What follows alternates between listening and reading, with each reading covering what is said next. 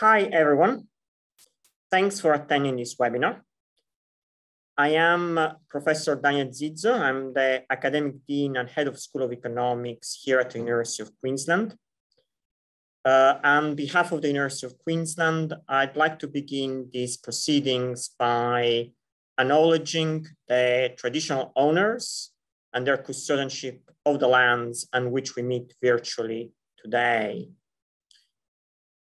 We uh, pay our respects to their ancestors and their descendants who continue cultural and spiritual connections to country. And we recognize their valuable contributions to Australian and global society. Now, you will notice that we have closed captioning enabled to make this webinar more accessible to all viewers. If you would like to turn this on or off, you can do so by clicking the leave live transcripts button below and following the prompts. Okay, just me just add a few words. We are at the end of close to two years of the COVID-19 pandemic. And what two years have they been? Now, many organizations do long-term planning for highly disruptive incidents. Uh, you know, thinking about what would happen, thinking about risks, think about scenario planning. But I can't imagine many organizations having been ready for something like what has happened over the last two years. And there is more.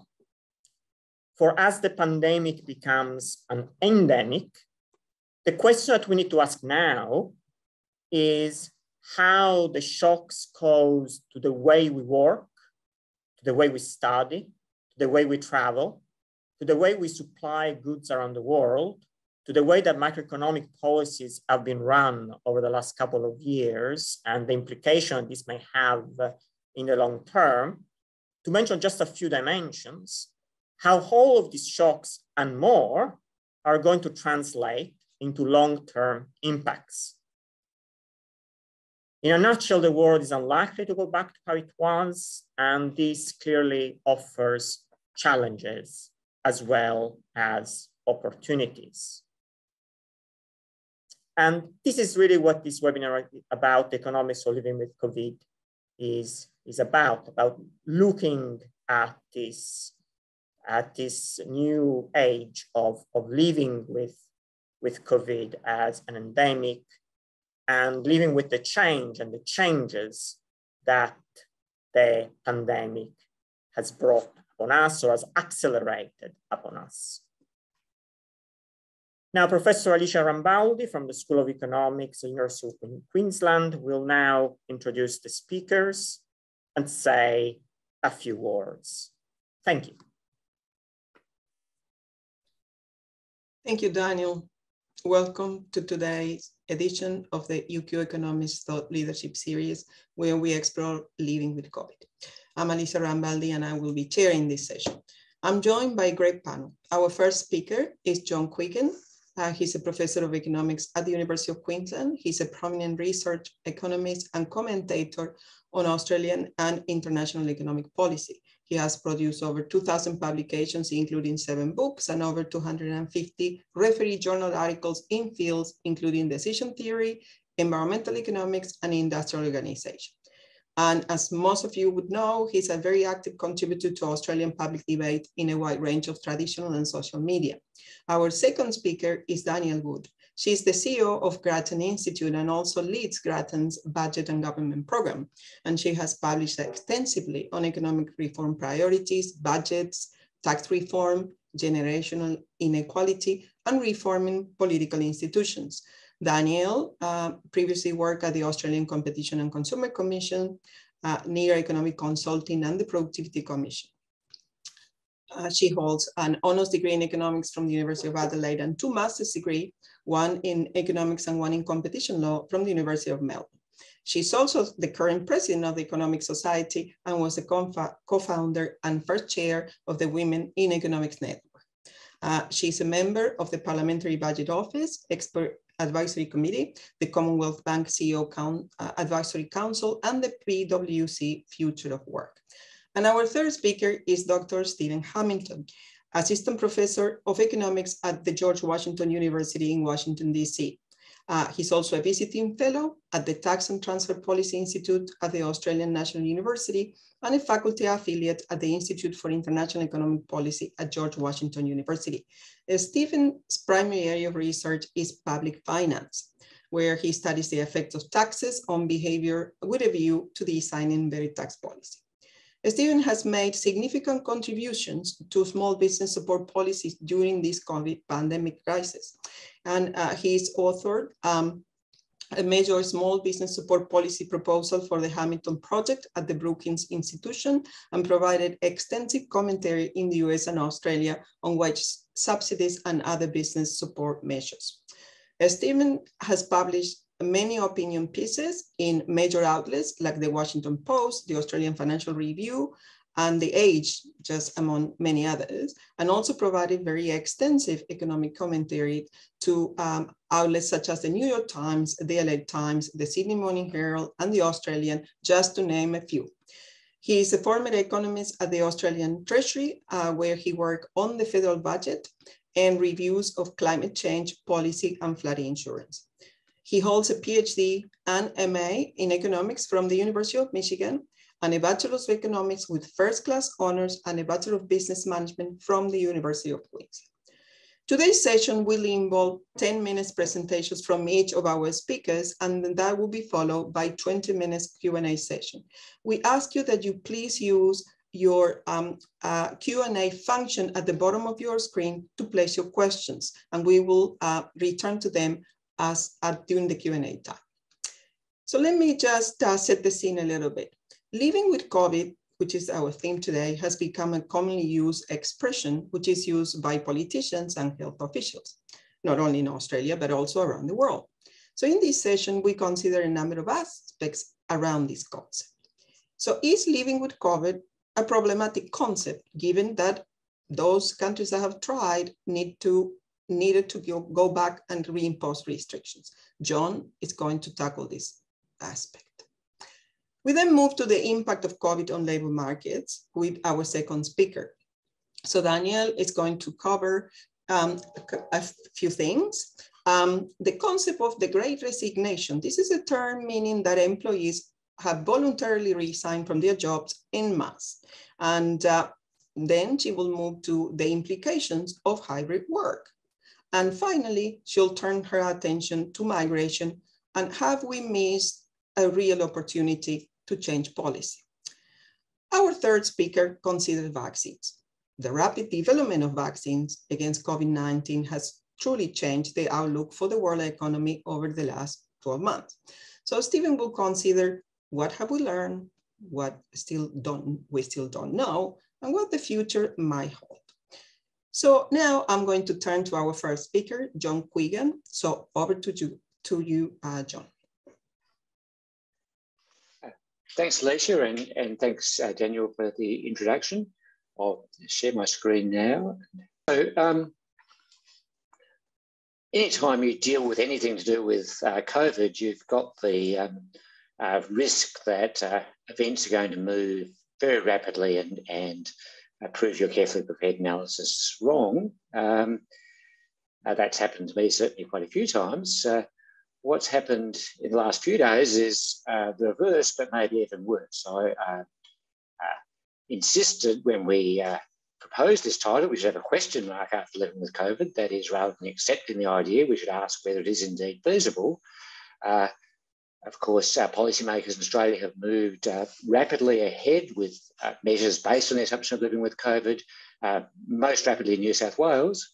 Uh, when I uh, started writing my slides, New South Wales was running about 250 cases a day. When I sent them in to I'd be ready for this at, at 500 a day, and today's number is 1,300, and the Health Minister talking 25,000. So what that says, I think, is that the risk that uh, uh, the risk that a policy of living with COVID will prove unsustainable is very great indeed. So it's it's the catchphrase of the day. Uh, we've been talking about it for quite a while. uh, but it's unclear what it means. Obviously, in some sense, we've been living with COVID uh, for the last two years. Uh, of course, not all of us managing to live. Millions of people have indeed died with COVID. So, does a notion of living with COVID make sense? Uh, what's going to happen in a period of policy where we are indeed indeed thinking about attempting to live with COVID? Well, first, let's just recapitulate the history of the pandemic. Um, we saw it first, uh, at least emerge late in 2019, just about two years ago in Wuhan in China. Uh, it spread quite rapidly to the US and Europe. We had the first wave, which was met with very widespread lockdowns and restrictions. Uh, they were relaxed. Uh, the pandemic was uh, then spread uh, all over the world beyond the places that had first been affected. And what we've seen since then is many waves of relaxation, increasing infection, and restriction. Uh, and so um, uh, that's uh, that was, of course, has been significantly affected by the arrival of vaccines, roughly speaking, at the beginning of 2020, which of 2021 rather, which Steven will talk about.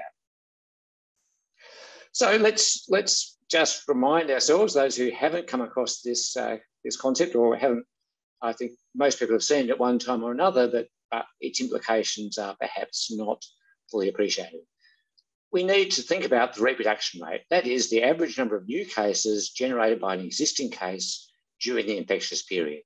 So um, uh, R0 is the rate in a population with no previous exposure and no protection uh, through vaccination.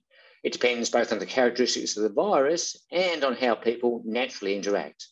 Uh, R0 has to be greater than one for the disease to spread, uh, what we've seen in the course of the, of the course of the pandemic is the emergence of successive variants with higher R0 rates, higher uh, transmissibility. And uh, the Omicron variant that has just emerged, uh, of course, has beaten all others. Then R is the actual rate at any given time. It depends on the number of immune to vaccination or previous infection and on what kind of changes we make in the way in which we interact. Uh, so, um, uh, so the crucial point is uh, uh, that this is a process, this kind of process is one which economists are familiar with in all sorts of ways, uh, exponential growth or contraction. So um, examples include compound interest, populations, and of course the spread of pandemics. And so what we have is, is a striking result that um, uh, depending on whether this number R is greater than one or less than one, uh, exponential processes either grow without bound uh, growing arbitrarily large or approach zero. Uh, they can be stable only if R is exactly equal to one or if R fluctuates around one. And so that's um, uh, that's also, of course, true of an investment. If it's if it's making a positive return and you let it compound, it will grow. If it's losing money, it will shrink to zero. Uh, only the special case of uh, of money in the bank with zero inflation uh, or money, money under the mattress with zero inflation stays at one. And uh, this sort of doesn't seem to be uh, really recognised. Everybody understands at some level, but uh, doesn't seem to be understood in terms of the implications it has for public policy. And what we see rather is a rather snarky cartoon in the style of XKCD, but not uh, XKCD, which shows how um, how we see this exponential process. So for somebody with a scientific or mathematical training, this is an exponential curve uh, uh, from beginning to end. But um, it's easy to easy to take the impression that um, with a bit of fluctuation around this, that at this low level, everything is, uh, we can even imagine that the uh, curve is declining. That was the case, say, uh, in Britain after, uh, shortly after Freedom Day there in, in June, uh, when cases were in fact starting to rise, there was nonetheless uh, regular good news, which was seen as going down. Then a period when things are under control, when you sort of imagine linear growth, and then finally uh, uh things start going out of control and we, we have a panic. Uh, but the exponential growth in this process hasn't changed at any point. So what does living with COVID mean? Uh, well, I think as far as I can tell, just since, it's readily defined, uh, what people have in mind is that we can keep R near one at some acceptable level in infection, hospitalisation, and death. Uh, now, uh, I think a lot of the people using the phrase, imagine that we can find a policy which has these properties, that, that uh, we can fix the policy, it will keep R near one, and then we can just go about our business. But in fact, uh, what we see is what it means in reality is that we're going to relax restrictions when rates fall, rates fall below the acceptable levels, and then tighten them again when rates rise, and continue doing that through wave after wave. Uh, when we started talking about living with COVID in Australia, uh, Denmark was the prime example. There were a lot of uh, very favourable articles about Denmark simply based on the fact they'd announced the policy uh, without sort of waiting to see what actually happened. Uh, Denmark went along that flat part of the curve for a while. Then things started rising. Uh, they reimposed restrictions and, of course, are tightening up even further with Omicron. And very similar stories in Singapore. Uh, the UK has just passed through Parliament a package of restrictions over the objections of a large group of uh, backbenchers, uh, some on both sides. Uh, so what we've seen is a series of, of, announcements that we're going to live with COVID combined with a fairly substantial, uh, drastic removal of most restrictions, followed by the reimposition of those restrictions uh, as cases begin to rise. Well, that's, that's the um, uh, why I've been so skeptical about this notion of living with COVID, the notion that what we do is pick an acceptable rate and try and keep the, uh, keep the number near that rate. In my view, if we're going to have a stable rate, uh, zero would be the best one or as near to zero as we can get. So what's the alternative? Well, let's suppose, which I think is reasonable, that we can't continue with border closures and that we have to hope that uh, the advent of vaccines means that we can uh,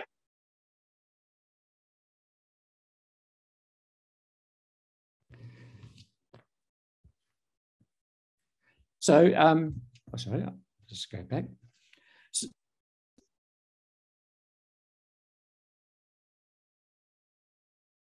Infections, we want therefore policies that will keep R less than one. What that means is each new infection, rather than forming the basis of a steadily expanding uh, outbreak, uh, gradually fades away to zero. That, of course, is what Queensland managed um, repeatedly during the last four or five months. Uh, a few cases would show up, R would fall to, uh, but, but they would fizzle out uh, with uh, moderate restrictions, and we got back to zero quite a few times. that suggests that we're in a relatively favourable state, but of course, with borders open, we're going to have a great many more infections arriving. what that implies uh, contrary to, I think, at least some analysis, is what we need is more stringent policies uh, rather than less. Of course, uh, we've been relatively well off in having uh, very few restrictions. Uh, I think if we're going to keep R less than one in the presence of regular arrivals and Omicron, uh, that means either stringent vaccine mandates, restricting the access of the unvaccinated to virtually all public activities, or else, as Austria has just, just moved, mandatory vaccination, uh, continuing with work from home as a preferred or at least available choice, giving up the idea that we should all get back to our offices. Uh, for those of people who have the choice, uh, continued mask wearing in high risk settings, and testing both pre arrival and post arrival. Uh, with quarantine for positive post arrival tests. So, those are the kind of policies I think we need uh, if we are going to live with COVID in the sense of uh, accepting that we can't maintain zero with regular arrivals of people from high risk uh, high risk uh, sources. Uh, but if we don't want to have the kind of catastrophic outbreak we're already seeing in New South Wales. So um, COVID's going to be with us for a long time to come. in that sense, living with COVID isn't a choice, but a fact. Nonetheless, the idea of living with COVID as it has been put forward in Australian public policy, in my view, is misconceived. Thank you.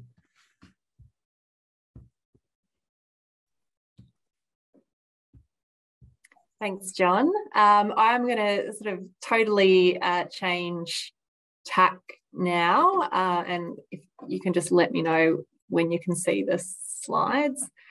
Um, and I am kind of interested in this idea of um, COVID as a big disruption and, and what will be the kind of um, effects that reverberate through other parts of the economy. And I'm going to particularly focus on labour markets because I think that's an area where we'll be seeing um, the effects for a long time to come. Um, so as Alicia said, uh, I'm going to kind of ask the question, the great resignation, what, what is it? And is it actually happening in Australia? Uh, I want to talk about the rise of hybrid work, which absolutely is happening, uh, and I think will will have some pretty significant long term implications. And then I'll come to the question of, of migration, and obviously another major disruption from COVID has been the shutting of, of the international borders, as, as, John said, and there's a lot of debate about um, what we should do uh, not on the other side, but as, as we, uh, we are opening borders and, and, and how we should um, shift our migration program, if at all. Um, so the Great Resignation, uh, no doubt you've seen the newspaper headlines because they are everywhere. Um, there is um, some kind of evidence base behind it in that there is sort of surveys floating around that suggests that a lot of Australians um, would like to change their job uh, within the next year or so. Some pretty um, eye-watering numbers there suggesting 40% um, would like to change.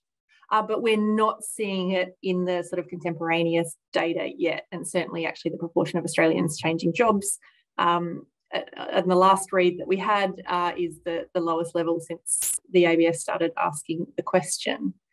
Um, the term itself came from the United States where there is a, a spike up in the quit rate and it's occurring across the economy, but particularly sort of disproportionately focused in some sectors like manufacturing.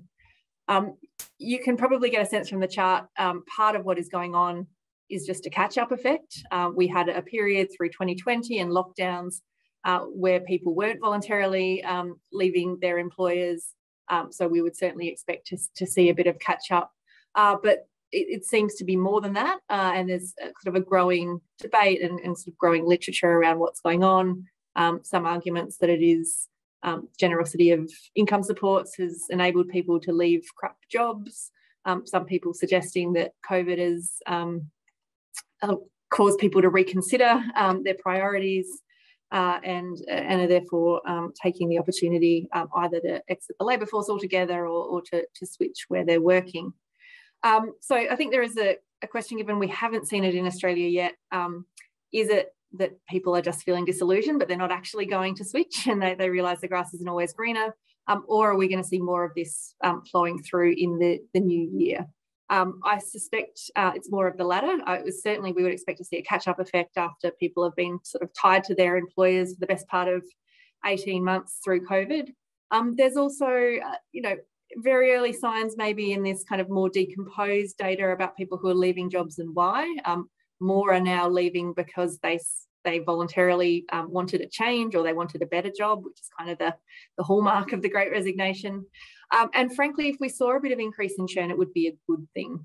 Um, so, you know, Treasury have done some work that suggests the very low rates of job churn in the pre-COVID world um, were contributing to, to low wages growth. Um, when people leave a job, they will generally get a, a, pay rise, which is good for their wages growth, but also good for wages growth across the economy. Um, so if we do want to see wages moving again, um, some degree of churn will be really necessary to, to make that happen.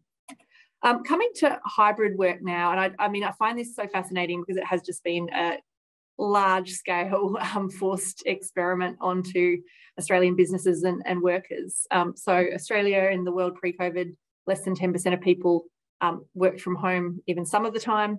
Uh, in the last two years, that, that number's been up around 40%. So obviously there's a whole lot of jobs that cannot be done at home. Uh, but for, for offices-based jobs, um, turns out we, we can do this. Um, you know, why wouldn't business do it in the absence of COVID? Uh, I, I, really like this quote I think it's um, he's the JP Morgan CEO anyway, one of the investment bank CEOs. Um, you know, business just wouldn't have taken the risk of doing this um, on, scale because no one was sure whether it would work. Uh, but now we have done it. Um, what we see is um, employees are really kind of um, shifting their preference set. So um, there's a ton of different survey evidence, all of which suggests that uh, amongst employees that can work from home, a majority have a preference for hybrid work and particularly two to three days a week in the office, two to three days at home is the most common choice. Uh, and the reason they give is, I mean, there's many reasons, uh, but the number one seems to be avoiding the commute. Uh, and it makes sense. Commuting is is really costly. Um, so the opportunity cost of time uh, is high, particularly for um, cities like Sydney or Melbourne, where average commutes are longer. Um, there's also additional costs in terms of transportation costs. And if you can avoid that some of the time, then that's a good thing. Um, so some interesting US data about what people are actually doing with that extra time that they're freeing up from the commute. Um, some of it is going back to the employer. Uh, they're, they're working a bit more. About a third of it is going flowing back to employers. Uh, and the rest is just doing stuff that um, gives them value. Um, so whether that's going and getting a second job and earning more income, um, you know, children, household chores, or, or leisure, uh, employees are getting a dividend from this. Um, the big concern has always been what will it mean for productivity? Uh, and I can bet you anything, if you did the survey two years ago, um, employers would have been extremely skeptical about productivity. Um, you know, this is only perceptions and there is issues and, and how this shifts over time, as I'm going to talk about. But, you know, I think it is interesting that for both employers and employees, the most common um, view of it is that productivity is remained about the same. Um, so where does this leave us? So now we're in this very um, strange world, I think, where we're kind of working towards a new equilibrium. Um, with the, the caveat of everything that John has just said, that um, you know maybe as, as we go through more waves, uh, this process will get set back. But um, really, what we're doing, I think, is negotiating towards a new normal. Um, for most businesses, I think there are sizable benefits of face to face contact um, for culture, for those kind of water cooler conversations, um, for um, onboarding new employees.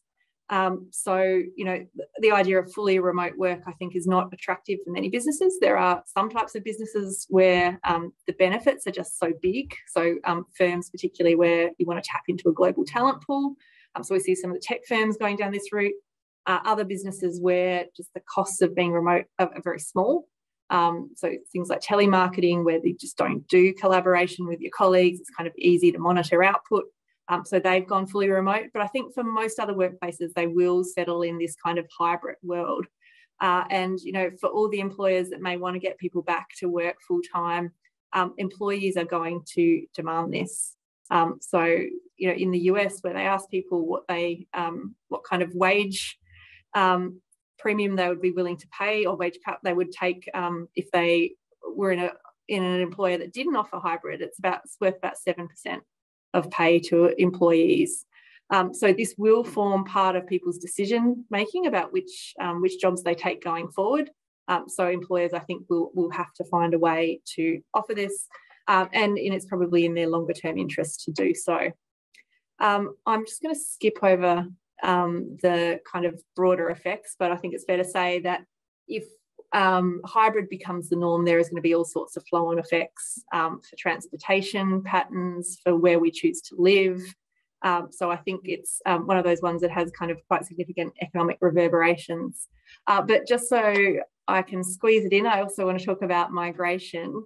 Uh, because this was an extraordinary shock, and Australia has historically run a pretty um, large migration program by um, developed country standards, uh, and essentially it went to, to zero overnight. In fact, we um, we had um, net outwards migration um, for the first time, um, and there's a lot of debate about what we should do about that as borders reopen. Um, Dominic Perrottet, New South Wales Premier, has said, you know, not only should we go back to pre-COVID levels, uh, but we should try and catch up on the, the migration that was lost during the pandemic um, not government policy, but certainly sort of government whispers to the media and as, as well as from the opposition. Um, maybe we should go slow on on reopening, um, not because of health risks, but because um, we want to create um, some wage pressure in the economy. Um, so I think it is worth revisiting um, the literature on migration and, and wage effects. so it's, it's pretty clear from both the theoretical and empirical literature internationally and in Australia that um, overall migration doesn't have a downward impact on, on wages. And that's because um, migrants add to the demand for labour as well as the supply. They buy things when they're here, they use services. Um, there are, however, some distributional effects. Um, and if you have migration concentrated in particular segments of the economy, um, you may see um, downward wage pressure on those that have um, substitutable skills uh, on the flip side, people with complementary skills um, would see their wages go in the other direction. Um, so I think what the, the dynamic that's been going on here, and we're hearing a lot of um, sectors that were very reliant on, on temporary migrants in particular, complaining about staff shortages. So things like um, agriculture, so fruit picking, um, hospitality, um, shortages, uh, particularly in sectors where there's uh, limited barriers to entry or limited training required, um, are only shortages at current wages. Um, and I think uh, we're seeing these firms that are unwilling to, to, to meet the market and shift the permanent wage up uh, because they are anticipating that, that borders are going to reopen and that they'll be able to rely on that supply of labour again.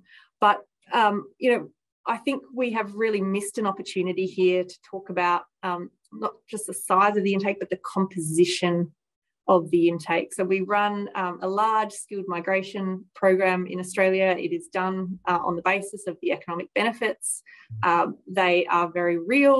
Um, there are spillover benefits, um, particularly for, for more skilled arrivals uh, in terms of um, the, the knowledge that they bring in, the know-how. Um, there's also very clear fiscal benefits, uh, particularly from, from younger and, and more skilled um, arrivals, they, they pay a lot more in tax revenue than they end up taking out in, in services, which is um, very attractive to governments. But um, not all visa categories are equal here. Um, so if we look across the permanent skilled um, migrant visas, the employer sponsored visas, the point sponsored visas are very good at, at selecting um, uh, migrants that end up being, you know, very high earners compared to the Australian incumbent population. Uh, on the other hand, there are some classes of visa, particularly investor visas, um, where the economic outcomes are very poor. And essentially, they've become a way of people buying visas. They will need to buy kind of small businesses in order to qualify for those visas. Uh, the rationale is supposed to be about attracting capital, but that's not something we really have a, a, an issue with at the moment.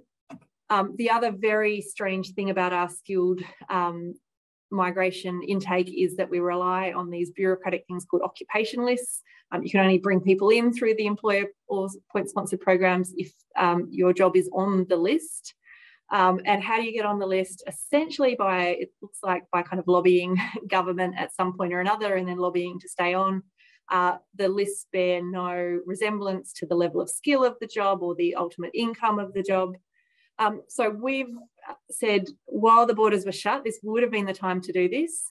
Um, you know, wind back those investment visas, um, use the places for people on the um, visas that are really successful at, at selecting um, big economic contributors, uh, and at the same time um, get rid of the occupation lists and apply a wage threshold. Uh, it's unfortunate that we didn't take the opportunity to do it when the screaming would have been the lowest. Uh, that's not to say that it can't be done uh, beyond this, uh, and we're certainly um, continuing to advocate that the government think about these kind of compositional questions because they're big and, and, and they matter a lot. Um, I am going to end it there and hand over to Steve.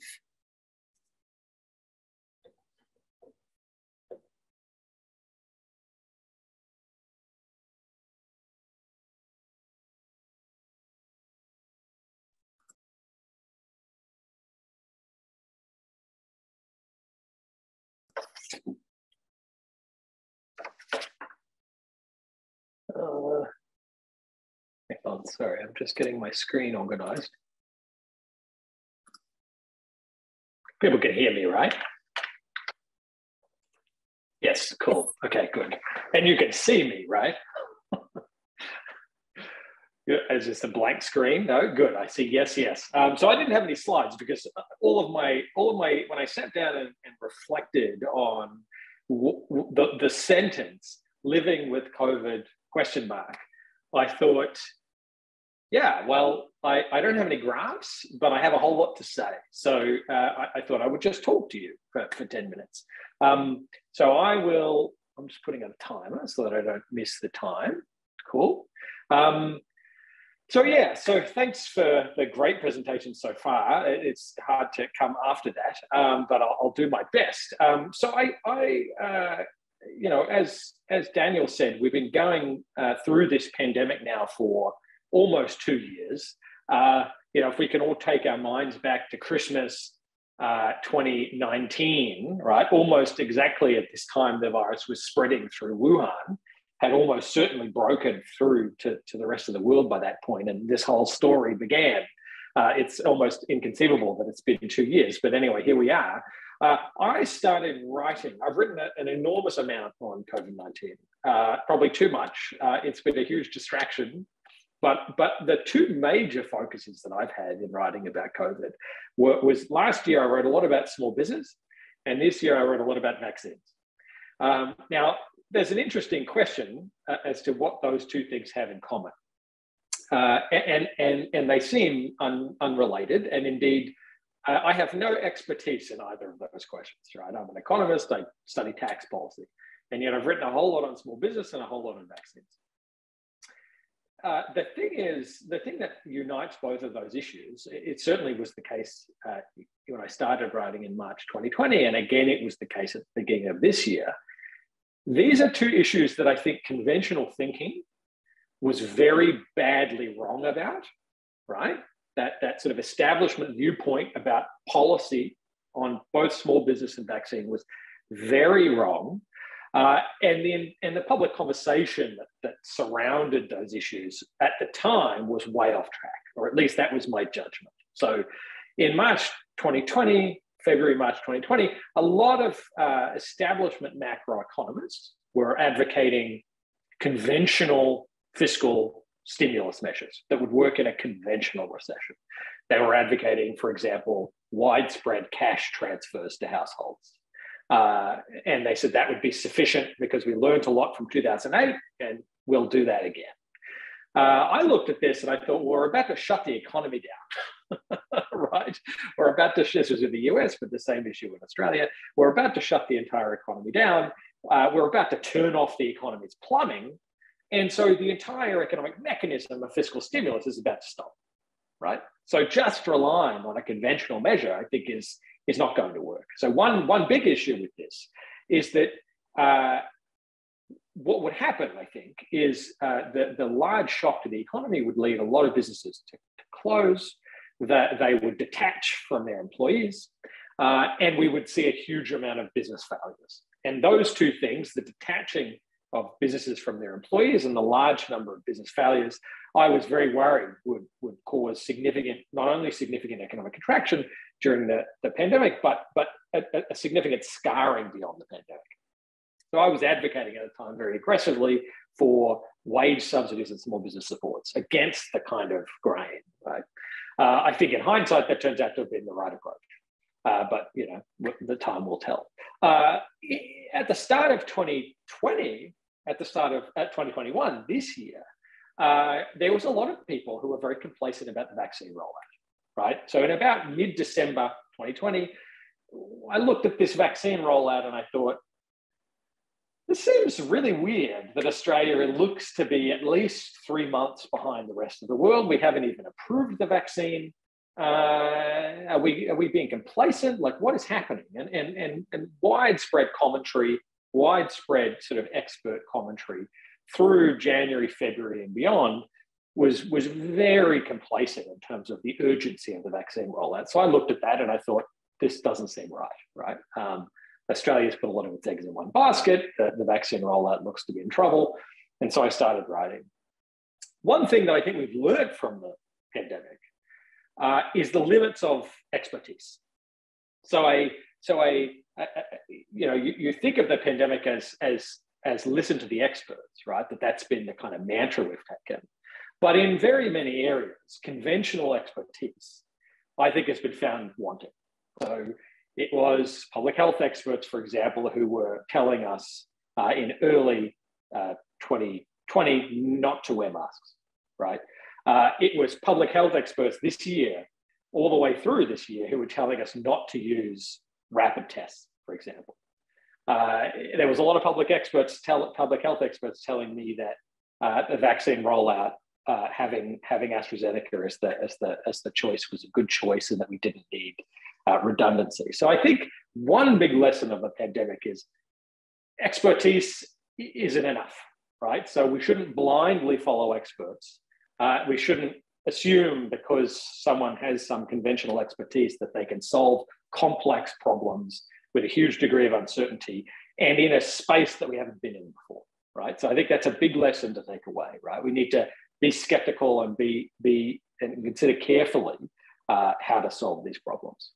Um, now, that the, the, other thing that I think we've learned is uh, we've done a terrible job, I would argue, and this is why I want to talk about vaccines. We've mostly done a terrible job at favoring low cost, high benefit options in dealing with the pandemic versus high cost, low benefit options, right? And all sorts of um, in all sorts of uh, areas, we've we've selected the bad options, right? We've, we've, we've reached for the, the high hanging fruit before we've, we've, we've taken the low hanging fruit.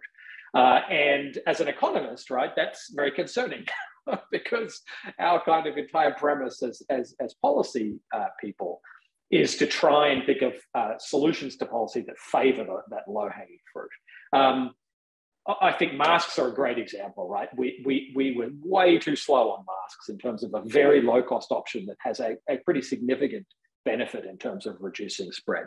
Uh, rapid test again, I think is a very good good good thing here. Like rapid tests, very cheap, very re relatively effective, extremely fast, and yet only recently became legal in Australia which are, which is a, just a tremendous failure that we that we, we that we kept that off the table.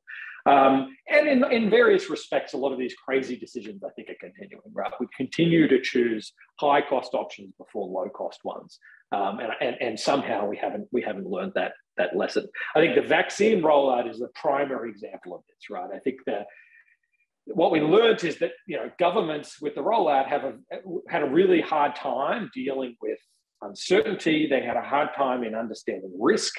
They had a hard time in getting out of the kind of penny pinching mindset that, that they usually have in, in conventionally trying to solve policy problems. Uh, and that combined into a, a, a, significant failure in terms of the vaccine rollout that I continue to believe is one of the biggest um, catastrophes in, in, Australian policy history. Um, if we add, if we if we think of the human lives that were lost, and if we think of the uh, the dollars that it cost us in terms of lost economic output, uh, it is very, very significant. Um, and I think we need to think carefully about what led to that, that failure. Um, the other, on the other hand, I think what we were good at is the government was very good at delivering the services, right? So I think uh, in general, the hospital system has been very well, uh, has been run very well through the pandemic. Uh, you know, in all sorts of respects, we've been very good at administering policy. So the actual rollout, once we got the vaccines, ran incredibly smoothly, and we were able to roll those vaccines out as fast as any any other country in the world, right? And we were able to achieve a very high level of coverage. So, you know, there are there. We, we, I think we've exposed what our governments are good at and not so good at um, through through the pandemic and through the vaccine rollout. Um, uh, two more lessons I kind of want to point to. Uh, one, um, I think our economy has been incredibly resilient through the pandemic, and I think that's very striking. I suspect Danielle and John will agree with that. Um, but that required significant fiscal support. So if we have the fiscal support that we need, our economy is incredibly resilient and can bounce back very quickly uh, and, and we've seen an incredible recovery in the labor market. And I suspect through the second wave, we'll see another pretty rapid recovery. But on the other hand, I think other variables, social variables, other parts of our life, I think we are, we are, we are unlikely to change, right? So there's a whole range of uh, things that I think people are going to take away from this pandemic, yes, but I think that the permanent changes that it makes to our life, I'm, I'm kind of skeptical that those will be uh, too dramatic. I think in many areas, uh, we'll revert to the mean. We'll go back to the way things were um, before the pandemic. I'm, I'm a kind of skeptic on that on that basis. So the last thing I kind of wanted to talk about in the, in the couple of minutes I have left um, is, is sort of where to from here. Like where are we going? Now that we've reflected on what we, we did well and not did not did not do well. Um, the first is I, I, totally agree with John's model of, of, the, of, the, of the, the virus going forward. And I think vaccines are essential to John's story, and I, I agree with all of his recommendations. Um, my guess is we'll fluctuate around one, right? So cases will come down and they'll go up and they'll come down, right? And I think we'll have periods of surging and we'll have periods of, of, the, of the cases going down. What's essential is maintaining vaccines and including boosters that we have now to try and reduce those fluctuations as much as we can. And I think the, the, the vaccine coverage that we have achieved is remarkable and that driving that vaccine coverage, continuing to drive that protection via boosters, will allow those fluctuations to be significantly smaller than they otherwise uh, otherwise would have been. Um, and I think that's kind of the future model that we'll have. We're going to kind of muddle through. Uh, we have to figure out the timing of boosters, the timing of, of, third and subsequent doses. We have to figure out what to do with uh, variants and how we'll update those boosters for new variants. All policy questions that we haven't dealt with, right? We're, we're talking about bringing boosters forward, but no one's talking about what happens with fourth doses or with boosters for new variants. So we're going to have to figure out living with COVID is going to be significantly about figuring out what that plan is for a permanent vaccine supply going into the future. Um, what, what, what are the questions I have standing here now thinking about the future? You know, I have, I have all sorts of questions. I think we, we a, key unknown thing is, is, the, is the mutation space of the virus, the degree to which the virus will mutate and escape vaccine protection. And that's going to really be critical to how we respond, right? And we need to make sure that we build our systems to be resilient to that possibility. And we're seeing some of that with Omicron. Um, you know, another one is, you know, are we going to take lessons away or are we going to keep making the same mistakes? So I think back to rapid testing, I think we continue not to rely on rapid testing enough, right? To, to leave Queensland and come back, you need a PCR test. It takes a long time, it's expensive, uh, and, and that's what we're relying on. We're continuing not to rely on rapid testing, which I think is a, is a big mistake that we haven't learned. Uh, I, I, see the uh, government this week announced the new mRNA uh, manufacturing facility in Victoria, which is great, but it's not going to be up and running for two years. So we, we, we didn't get a manufacturing facility up and running early in the pandemic. We waited two years. And even now, it's still going to be another two years before it starts producing vaccines. So you know that again seems to be an instance of us making kind of the same mistakes again being dragging the chain and not being urgent enough in how we we manage the pandemic so you know for me that's the big unknown question are we going to take lessons away from what we've done well and done poorly during the pandemic to date in order to better live with covid on a sustainable basis going forward. So i will give back to alicia who i think is going to run a q&a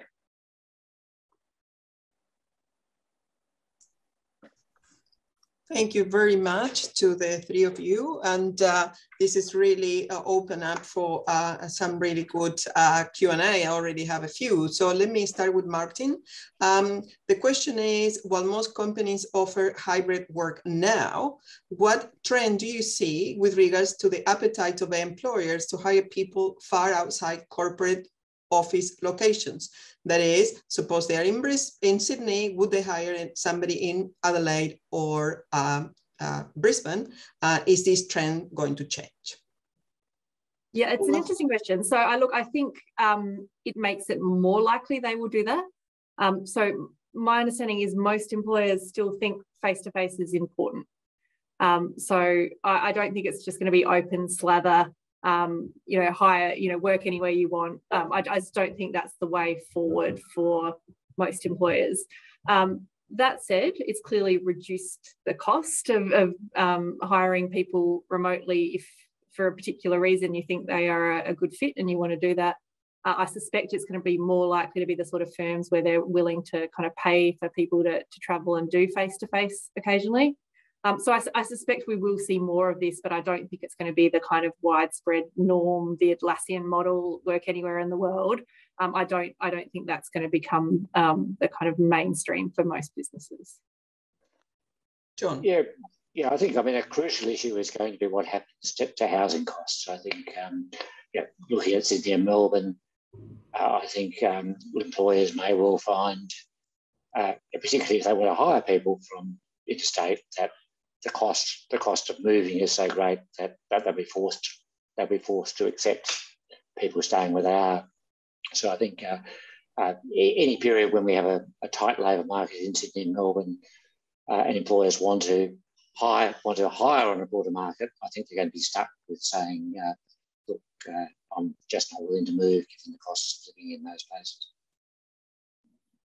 Yeah, I mean, I'll, I'll just add that uh, I'll, I'll, reiterate what I said before, which is I'm a skeptic that things will change at all. Uh, maybe they'll change a little bit at the margin, but I think uh, at the end of the day, bosses like to see their, their employees, right? They want to see them. They want. They don't trust them.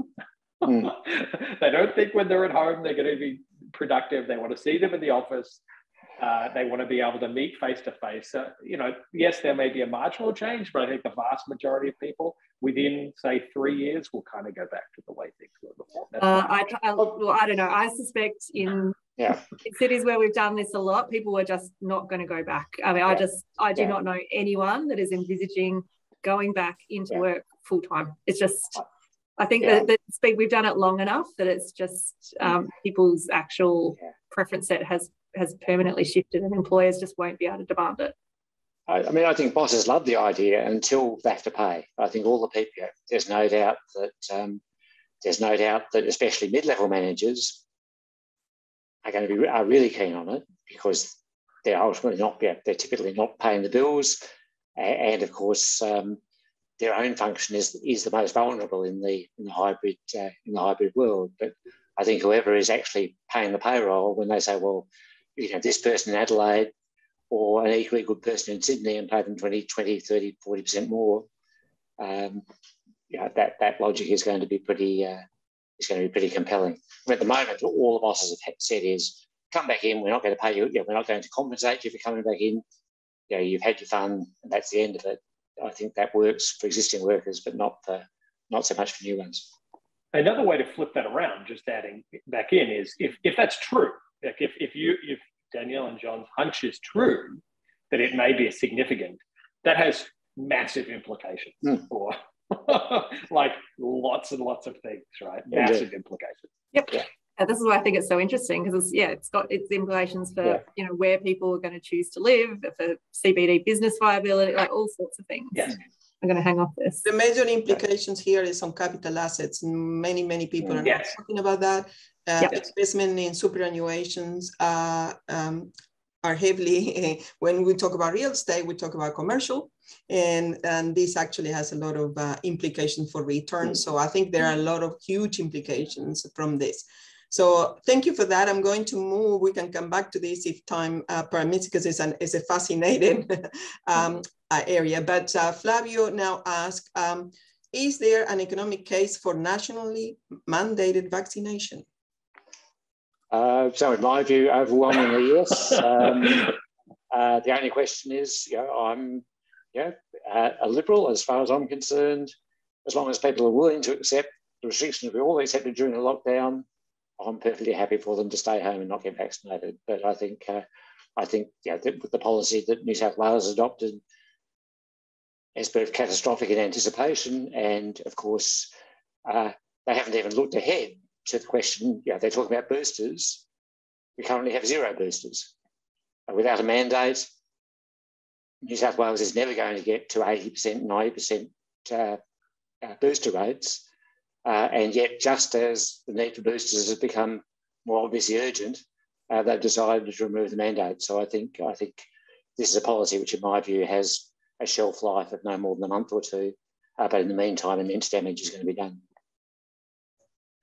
Yeah, so I think the, uh, if we mean mandate in terms of do I require vaccination status to go into um, any kind of risky setting like a restaurant or a theatre or I mean, or other people. So yeah so i look i um, fully support that um, if it was a question of you know do we require every single australian to to get a jab no excuses um, you know, like obviously in a very narrow economic sense, that would, that would still stay up. But yeah, yeah, exactly. I mean, I think there's, I, mean, I think there's I mean, some yeah, I think Austria's, questions. Done it. Yeah, Austria's I mean, done it and succeeding. So I think I think uh, the idea that the idea that I mean, I think you can avoid it in the US context by having yeah, literally millions of deaths. Um, but I think I think we'll see something very close to it. But what we know is that the um, with just persuasion plus mm. the requirement to, to yeah. go into mm. settings, that, that's been enough. We've yeah. been, been able to achieve yeah, a very high rate, and I would prefer to, to leave the settings yes. there. I'm, I'm happy with that view. So, so I, I tell you one thing. One thing uh, Scott Morrison was dead right about, and I was dead wrong about. There's no, I promise that yeah. list is very Wow, I can't wait to hear this. yes, I did not expect us to get to like as high a vaccination rate as we did. I oh, did not we expect right. it. um, I did not expect 95. Like it's it's hmm. extraordinary. And, and and and and two things: people's willingness to go out Um, you know, you think of it as an economist about externalities. You know, people aren't thinking about the spread; they're only thinking about themselves. But on the other hand, if people are irrationally afraid of the virus, that actually works in the opposite direction than the externality, right? So I think uh, the, the, where we got to in the end with modest requirements, I think is staggering. Um, and I suspect, you know, my, my view would be we, we try and hit the same target, do whatever we need to do on policy just to hit the same level with boosters. And we just keep that up every year. And, and I think, you know, I don't know, John, about the, my, my, thing is like if we get to 95 and there's 5% of people, like let them go. But, you know, um, but I think I'm, the problem is we won't, yeah, we won't get to 95. Yeah, sure. Exactly. We won't get to 95 without, uh, you know, without uh, essentially requiring large categories of people.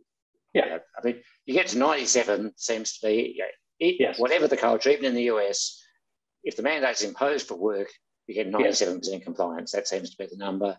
Uh, I think um, I think yeah, that's going to yeah, that's that's what yeah, what we need essentially is if your work brings you in contact with other people, colleagues, co-workers, clients, or whatever, then the mandate should apply.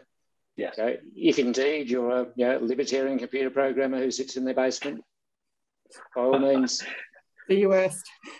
And I think it's and I think it's politically at equilibrium. Like I think the political Indeed. vast majority of Australians, the political system will just make this mm. happen probably. Yeah, and I think I think we'll see that New South Wales, yeah, which has tried to break, yeah, has tried to break with the, that that policy will fail very fast, is my view. Thank you, everyone. I think we only have about like one minute uh, left. So, oh, just on time. So, Steve, how can we get better at making policy on the fly for complex yeah, issues? That's a good question. I mean, so I, I said what we did good and what we did bad, but I didn't say how to, how to fix it. So, I will tell you one thing, which is, um, you know, I think we have to have more capacity in our public sector. So, mm. I, I, I really do think that the public sector has badly diminished over time. Mm. Uh, and I think we have to seriously think about smart, creative ways to make to build capacity in the public sector. I worked at Treasury. I had lots of issues with Treasury when I worked mm. there, and yet people tell me that's a gold standard government department. If you worked in some other department, you'd be pulling your hair out. So I think uh, I think the health department screwed up big time on the vaccine rollout for various reasons.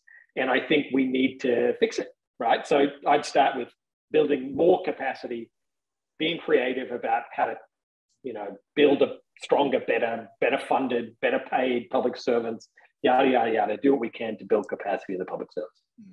Eh, eh, I had a piece in the monthly called Dismembering Government, which essentially said the state we had in 1970 would have done a far better job of yeah. dealing with, with the pandemic in the state we have now, that we would have, we wouldn't have, yeah, the, the national government would have done quarantine rather than outsourcing it to states, would have been done publicly rather than mm. trying to mix and match with hotel quarantine and so forth. So I think, yeah, uh, I, I, agree entirely that, yeah, what this says is, particularly at the national level, we just totally, totally lack, lack state state capacity in the sense state of, capacity exactly in the sense of the state as opposed to you know the state governments have state capacity and the national government uh, you know particularly under this government but more generally has just lost it can I very quickly add one as well? I think I think we do need to kind of go back and, and look at what we did and learn from it. Um, and you know, when I've raised these issues in front of Department of Health people, they you know just refuse to accept that any errors or mistakes were made, and I think that's a very dangerous yes, mindset. Um, so I, I will just add one more thing. Sorry, Alicia, you're trying to cut the cord. I can't. I have to say one more thing, which is smart libertarians. Smart, John. You know, sit down. Smart libertarians have come up with a name called state capacity libertarianism. Yes. The yes. smart libertarians have figured out that starving the beast and having a crappy government that doesn't work mm. very well doesn't help anyone. So, mm. yep. Yeah. Okay on that note, and uh, with uh, Denise's comment that says that uh, our government believes we are overgoverned, I think it's um, probably a good point. That's true. uh, thank you. Uh, thank you all very much. I think it's been quite interesting, and there's so much more than we could talk of. We could talk for yeah. hours about this. So thank you so much